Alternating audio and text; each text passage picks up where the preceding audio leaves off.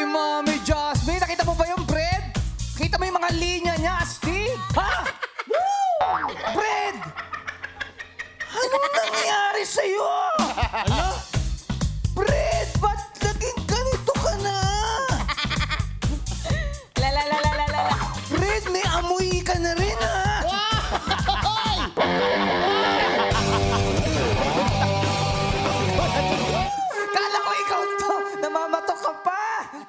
Ito na, updates ang mapusong kasabin ng ating ng tatalakayin.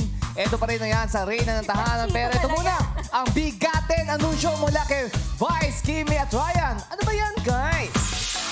Liliwanag na ang entablado para sa pinakamagagandang babae sa balat ng lupa. Ang ating mga ulirang ina ay sasalang na sa ating palasyo.